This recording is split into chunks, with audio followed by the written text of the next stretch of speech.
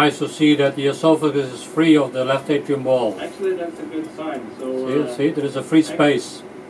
very unusual. Usually, it's like imprinted in Yep. the left atrium, and now it's uh, completely free. Yep. So that's uh, a bit amazing, but that's good. I will also add the, the puncture placer.